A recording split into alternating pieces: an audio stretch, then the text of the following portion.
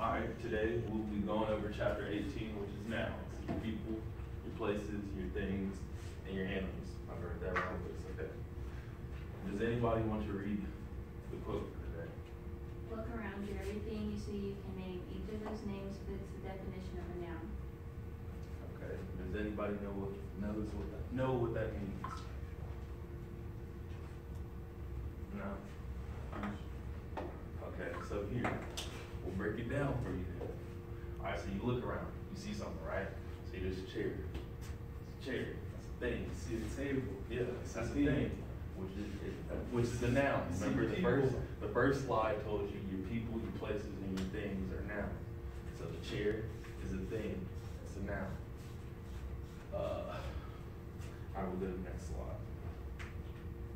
All right, So we got uh, learning outcomes. Learning outcome one is classes of nouns. Learning outcome two is number of nouns. Learning outcome three is count and non-count nouns. Learning outcome four is article with nouns. And learning outcome five is other noun markers. So I had uh, learning outcome one, classes of nouns. So you have common or proper noun. A common noun names a general place, person or thing or idea, and it is not capitalized. Proper noun is a specific person, place, thing, or idea, and it is capitalized. Collective noun is a name, a group, or a unit of people, animals, or things. And concrete or abstract nouns, concrete can be seen, heard, smelled, or tasted, and abstract cannot be heard, seen, smelled, or tasted. Okay, so here, can you give them an example of? Yeah, yeah, next slide. Common-. Oh, yeah, you right, you right. I forgot. My bad. I'm slipping. I'm slipping. So uh, common nouns, examples would be like if I say a rapper, you can name any rapper. I'll put J. Cole, that's my favorite rapper. But you can name Lil Wayne, anybody who's a rapper as an example of a common noun. So in the proper noun would be the specific rapper. So then I got a common noun that's state, and then a specific noun, I mean a proper noun would be Texas, California, any state that's specific.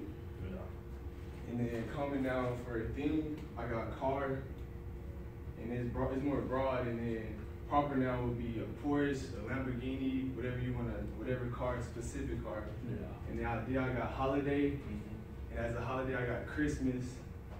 And then concrete and abstract nouns, concrete I got smile, hospital, hamburger.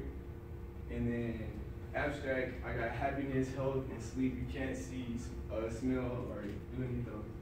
And then collective nouns, I got team, crowd, family, flock, herd, committee, audience. It's a big group of people or a group of anything. It's a collective noun. Okay. I have a question. What's up? So if you have the concrete noun um, heart, what would the abstract noun be for that? For heart, hmm uh, Love. I mean, you could, yeah, you could put you could put love, or as a heart, you could put a beat or anything beating or something. You can't smell here. I mean, Well, you can probably hear your beat sometimes. I mean, you- I mean, I depends guess how hard your heart yeah. But it's not like you don't hear all the time. specific, yeah. All right. So the next one, learning outcome number two. That's your number of nouns. Uh, the number of nouns shows whether it is singular or plural. Uh, so right here, we'll go singular bed. It's one bed. If I have beds, I have more than one. If I have a sister, that's one sister. Have sisters, that is multiple. Uh, a note is to form most plural nouns, you add an S at the end, uh, except for the ones that end with CH, S, S, SH, X, or Z. You add A, A, you add ES, my bad. Also, uh, also some nouns take special spelling. So, uh, like goose, you could geese, it's special spelling. Uh, for, uh, the one with wash, has a SH at the end, so you add your ES. Uh, learning outcome three, count and non-count nouns. Count nouns, name something that can be counted. Non-counts, name things that cannot be counted. Two-way nouns can fluctuate as either count noun or non-count nouns. So count nouns, you have singular and plural. Singular would be great, and the plural form would be grapes, and singular would be car, plural would be cars, and ideas, and the plural would be ideas. And for the non-count, I got water and heat. You can't count that. Joy, history, writing, pasta. Those are things you cannot count. And I got two-way nouns can function as either count or non-count. So example would be, please leave the paper on my desk is count because it can be plural, more than one paper. Please leave the papers on my desk. And then the sculpture is made of paper, can be plural, so it's a non-count noun. Learning outcome number four, article nouns. They show whether something is specific or a general thing. So, um, we'll go to the next slide. So your, uh, defined ones use the, which are for specific things, so like the chair, uh, the boy, it's a specific thing. Um, for yeah, okay, so your example, uh. Look at the rainbow. It's a one specific rainbow. It's not multiple. The can be used, uh, with most nouns, but usually not with proper nouns. So Mickey jumped off the laptop. You didn't put the in front of it because it's a specific person. Everybody knows what it is. It's one singular thing. Uh, indefinite articles, they use a or an. Uh, they signal if something is a general person, general person, place, or thing, or idea. The a is used before not before nouns that begin with uh, consonant sounds, and uh, and the words with and used before vowel sounds.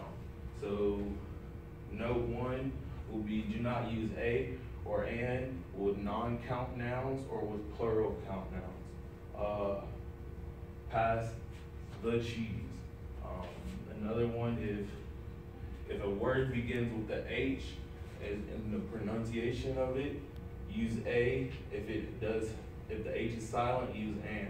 It's an honor, and a hen lays eggs. And then learning outcome five, other noun makers, you have possessive, indefinite, demonstrative, and quantifiers. And possessive is the case of nouns and pronouns showing ownership. Ownership of another noun. So like yours, uh, my, uh, other stuff like that. And for possessive, you usually add apostrophe s to singular nouns, and to plural nouns, you add an apostrophe at the end. And then indefinite adjectives, it marks a general noun. So marks a count noun or other marks, it marks other non-count nouns. And then we have demonstrated adjectives. Show mark specific nouns for words that are used singular are uh, this and that, and the ones that are plural are these or those. Uh, we have quantifiers, and it tells how many or how much, so, so it's how much or how many. And then these are our examples. For your possessive, you have from first person, it would be my, mine, or our, or ours. Second person, your, yours, your, and yours again. Third person, you have his, her, its, and then his, uh, her, its, theirs, theirs, theirs, and all that. And then with quantifiers, we count nouns, say each, so you can say nine for count nouns, or several, every, both, a few. And with non-count nouns, you can say a bag of, or a little, a bowl of, much, a piece of, or a great deal. And with count or non-count, we say no, or a lot of, not any, or lots of. You can say some, or plenty of. Okay. Yeah. uh, demonstrative adjectives. Example are you use these or this. So these songs are by that artist, and then you say this song includes those lyrics. Really not that specific. And then indefinite adjectives and count nouns. You say each, either, several, Or few, many, or neither. uh, with non-count nouns, much or little, with count, uh, count nouns or non-count nouns, you use all and, all, any, more, most, enough, and some. And that is chapter eighteen. Does anybody have any questions? That's it. Any questions, class? Any questions? No questions? It will be on your test. Yes, It will be on your test. Mm-hmm. Better have Y'all paying attention. Y'all, y'all good? Nouns, good? No. 18? Thank y'all. All right.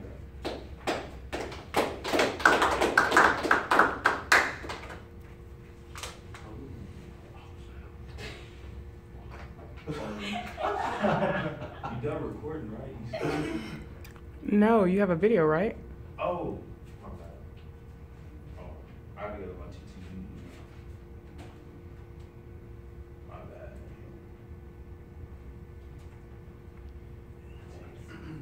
Wait, you still recording? Yeah. You can't pause it? I mean, I guess I could. Wait, can y'all hear? There's, Oh, wait, hold on, I'll, I'll start over. There we go. You know, we do the nouns. Do you know the classes of nouns? the classes of nouns. That's my tutor. I would say there's common nouns and proper nouns. Mm-hmm. Yeah, she right like that. And then maybe like abstract nouns, Yeah.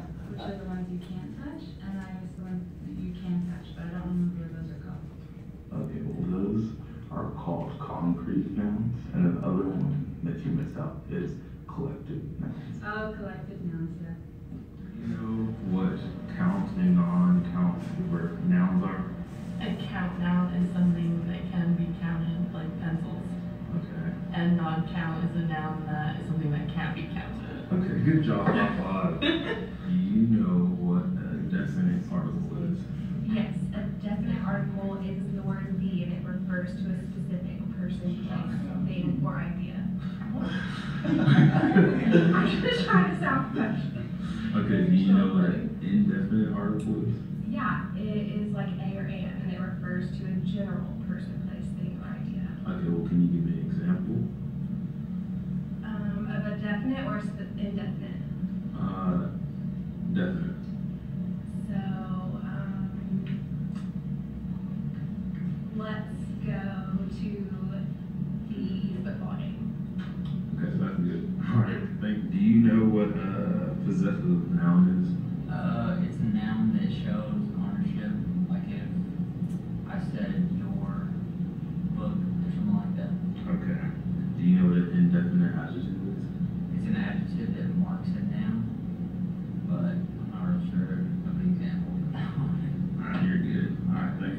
It's a you. demonstrative adjective. Oh, that's me. Um, it marks a specific noun. Um, usually they use this or that for a singular one, and then for plural they use these or those. What's a quantifier?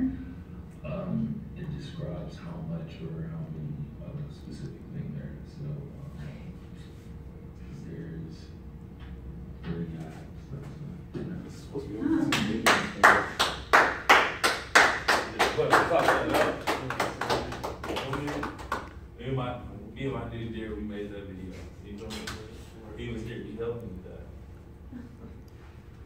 Who, who's next?